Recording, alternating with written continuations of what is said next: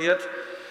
Der nächste jetzt zu behandelnde Tagesordnungspunkt ist der Punkt 23, die Fachförderrichtlinie Geburtshilfe. Hier beginnt CDU-Fraktion. Kein Bedarf. AfD. Dann Fraktion Die Linke. Frau Backo.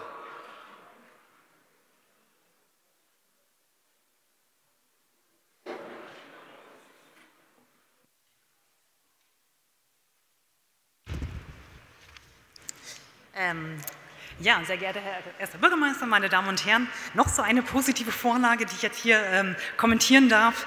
Ähm, die Förderrichtlinie für die Geburtshilfe ist sozusagen die Weiterentwicklung eines Ende 2018 eingeführten Fördermodells in Dresden. Das basiert auf einem rot-rot-grünen Antrag, damals noch, ähm, der eine Förderung für Geburtshilfe, also für äh, die Begleitung von außerklinischen Geburten, Hausgeburten oder Beleggeburten oder Praxisgeburten bezuschusst oder die Betreuung von Wöchnerinnen ebenfalls finanziell durch die ähm, Kommune bezuschusst.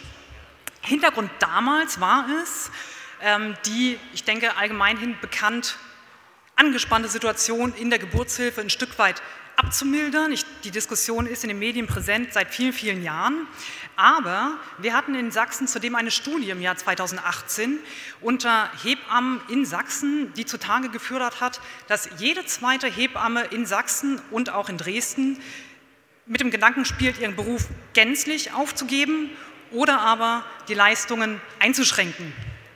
Das hat uns durchaus alarmiert, denn die Aussagen dieser Hebammen, die eben mit dem Gedanken spielen, ihre Leistungen einzuschränken, waren in allererster Linie, dass die Arbeitsbelastung sehr hoch ist, Demgegenüber steht eine zu geringe Entlohnung, aber vor allem auch eine mangelnde Wertschätzung seitens der Politik, in dem Fall der Bundespolitik, die ist eigentlich für diesen Bereich zuständig und Sie kennen die äh, Diskussion um die Haftpflichtprämien. Seit Jahren ist das eine Diskussion, die präsent ist, aber trotzdem wird hier nicht agiert und es wird keine ähm, zufriedenstellende Lösung gefunden. Auch das macht den Hebammen ja, zu schaffen und äh, Sie beklagen eben hier die mangelnde Reaktion auf der politischen Ebene. Daraus folgend haben wir gemeinsam mit einem Elternverein, mit Hebammen, mit der Verwaltung einen Antrag auf den Weg gebracht, der eben ein Fördermodell in Dresden auf kommunaler Ebene vorsieht, um genau das zu zeigen, dass diese Wertschätzung selbstverständlich auf politischer Ebene, wenn auch hier auf kommunalpolitischer Ebene, vorhanden ist für diese wichtige Tätigkeit. Die Ziele, die wir damals mit der Förderung verknüpft haben, war, dass Hebammen eben nicht ihren Beruf aufgeben oder eben nicht ihre Leistungen einschränken. Leistungen einschränken bedeutet in dem Fall, in der Regelfall, im Regel, äh, dass zum Beispiel Geburten, die nachts stattfinden, ungeplant stattfinden, nicht mehr begleitet werden, dass Wochenbettbetreuungen am Stadtrand vielleicht nicht mehr stattfinden, weil man da weite Fahrtwege hat, sondern man sich eher auf Kurse besinnt oder eben einfach effizient seinen Kalender gestaltet. Und genau das wollten wir nicht, sondern dass alle Wöchnerinnen, alle äh, Frauen und frisch gebackenen oder werdenden Eltern in Dresden die Begleitung und die ähm, Unterstützung durch Hebammen weiterhin zuteil wird. Diese Ziele sind durch äh, Gespräche mit verschiedenen Praxen, aber auch Hebammen tatsächlich auch erreicht worden. So haben Hebammen gesagt, sie sind wieder in die Geburtshilfe eingestiegen, weil jetzt durch diese finanzielle Förderung, das ist ein sinngemäßes, äh, sinnhaftes Zitat, äh, sie den Beruf nicht mehr nur machen, weil er ihnen Spaß macht, sondern sie damit auch ihre Miete bezahlen können. Und ähm, dass eben genau das hier passiert ist, dass es durchaus sehr wahrgenommen wurde von Hebammen und Geburtshelfern, dass diese Wertschätzung ausgesprochen wurde. Die Richtlinie, die wir heute hier beschließen, ist eine Weiterentwicklung des Antrages, der vor knapp zwei Jahren umgesetzt wurde. In der Richtlinie ähm, ist durchaus sehr sinnvoll. Einige, sind, einige bürokratische Unnötigkeiten abgebaut worden. Gemeinsam mit dem Hebammenverband wurde hier ähm, daran gearbeitet und nochmal ein besseres Modell von den ähm, Förderungen umgesetzt. Das ist sehr sinnvoll.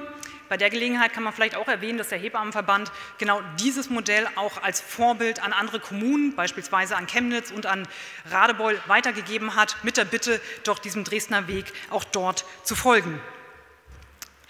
Tja, bei all dem Guten gibt es leider auch einen Wermutstropfen, der in diesem Fall aber ein ganz entscheidender ist, nämlich die ähm, Richtlinie wurde zwar einstimmig überall angenommen, aber in dem Haushaltsentwurf hat der Oberbürgermeister, Herr Hilbert, diesen Mehrbedarf leider nicht anerkennt, anerkannt. Das heißt, die Förderung steht mit einer Null im aktuellen Haushaltsentwurf drin und daher hoffe ich sehr, dass ein positiver Beschluss hier im Stadtrat auch dazu führt, dass in vier Wochen, wenn wir den Haushalt beschließen, auch die entsprechenden Gelder im Haushalt dafür zur Verfügung gestellt werden. Vielen Dank. Vielen Dank, Frau Barkow. SPD-Fraktion, Frau Dr. Vogel, bitte.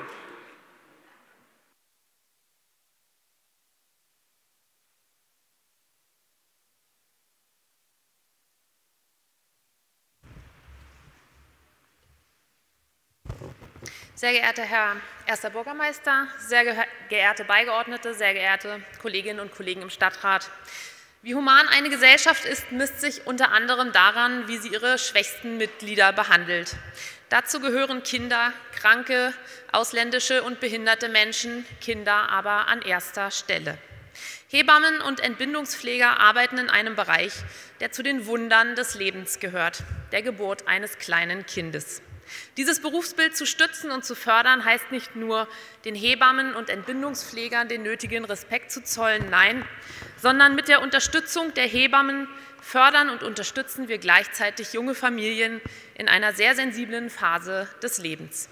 Wir helfen den jungen Müttern und Vätern, gute Eltern zu sein und in der neuen Familienkonstellation mit Säuglingen gut ankommen zu können. Der uns hier vorliegende Beschluss einer Richtlinie über die Gewährung von Zuwendungen im Bereich der Geburtshilfe ist deshalb richtig. Denn durch die pauschalierte Zuwendung an Hebammen und Entbindungspfleger wirkt die Richtlinie verwaltungsvereinfachend. Es gibt nun nur ein Dokument, das alles regelt und nicht eine Vielzahl. Gezahlt wird eine Zuwendung an die Hebamme bzw. den Entbindungspfleger für die Einzelfallbetreuung von Mutter und Kind im Rahmen von Geburtshilfe und selbstständiger Wochenbettbetreuung. Durch diese Form der Förderung wird nicht nur das Berufsbild der Hebamme gestärkt, sondern die Eltern erhalten ein größeres Leistungsspektrum, aus dem heraus sie frei wählen können, welche Form der Entbindung und nachgeburtlicher Wochenbettbetreuung sie wählen möchten. Damit Kinder sich entwickeln und in dieser Stadt gut und behütet aufwachsen können. Ich bitte um Zustimmung. Vielen Dank. Vielen Dank, Frau Dr. Vogel. FDP-Fraktion, Richtet Freie Wähler. Bündnis 90 Die Grünen, Frau Siebeneicher, bitte.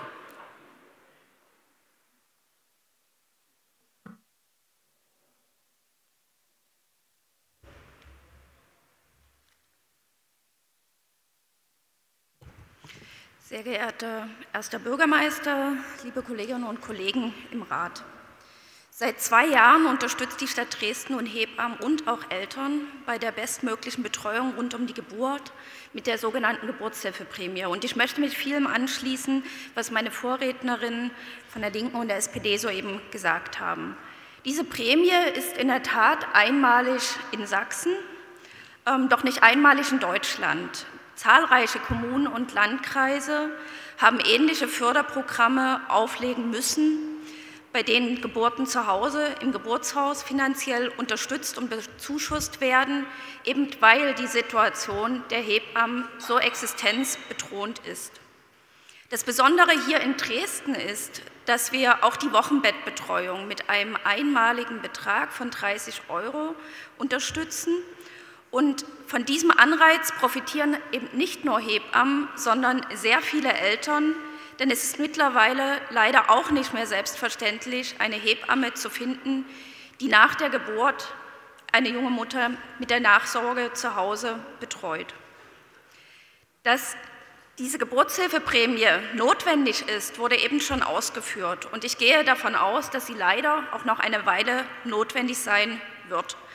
Denn noch immer zeichnet sich keine Lösung auf Bundesebene ab, was die steigenden Haftpflichtprämien anbelangt. Und genau hier setzt eben die kommunale Förderung an. Es bleibt notwendig, dass wir über eine solidarische Berufsrisikoversicherung auf Bundesebene nicht nur reden, sondern auch Entscheidungen fällen. Und wir Grüne sind überzeugt, wir brauchen hier, wie in anderen medizinischen Berufen auch, eine Versicherung, die Haftungsrisiken solidarisch gemeinsam trägt, auch im Bereich der Geburtshilfe. Zurück auf Dresden geblickt kann ich sagen, wenn man sich die Zahlen anguckt, die Geburtshilfeprämie hat sich bewährt. Es gibt eine überraschend große Resonanz und ich möchte auch ein paar Zahlen hier nennen.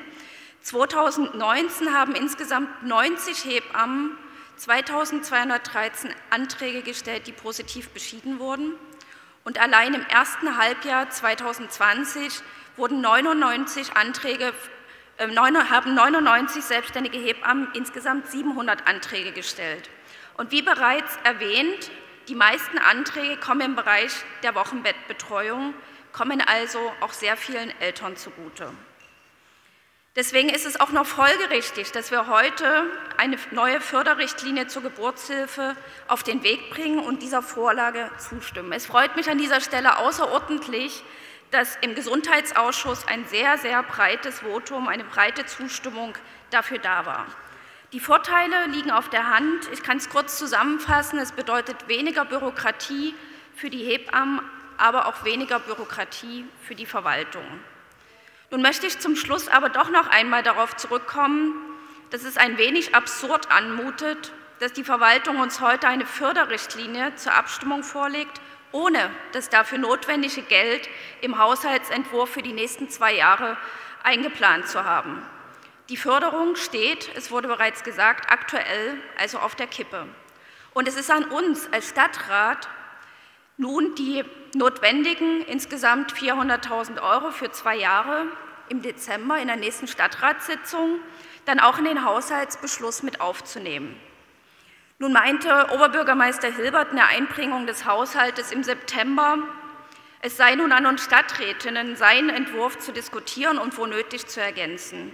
Ich möchte es aber auch ganz deutlich sagen, dieses Beispiel der Geburtshilfeprämie zeigt mir seine Logik in dieser Haushaltspolitik. Für Lieblingsprojekte wie den Fernsehturm sind trotz Corona-Pandemie Millionenbeträge eingeplant. Aber dieser vergleichsweise winzige Beitrag zur Unterstützung von Familien in Höhe von maximal 200.000 Euro jährlich wurde eben nicht aufgenommen, obwohl das Gesundheitsamt obwohl das Gesundheitsamt eine weitere Förderung dringend empfiehlt.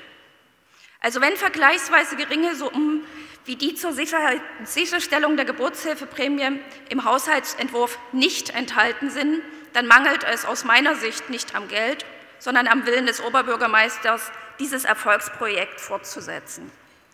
Hebammen und Eltern haben sich über die Presse auch zu Wort gemeldet und uns aufgefordert, die fehlende Summe wieder in den Haushalt aufzunehmen und ich hoffe, das gelingt uns, demokratischen Kräften gemeinsam in der kommenden Sitzung. Die grüne Fraktion wird dieser Vorlage heute gern zustimmen und sich natürlich weiterhin in den Haushaltsverhandlungen dafür einsetzen, dass die Geburtshilfeprämie erhalten bleibt. Vielen Dank. Vielen Dank, Frau Siebeneicher. Die Fraktionsrunde ist damit beendet. Weitere Wortmeldungen sehe ich hierzu nicht. Wir können damit in das Abstimmungsverfahren eintreten. Und ich bitte Sie um das Handzeichen, wenn Sie der Vorlage in der Fassung des federführenden Ausschussberichtes Ihre Zustimmung erteilen.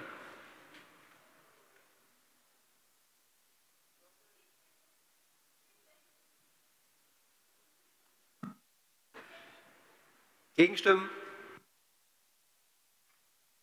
Enthaltung?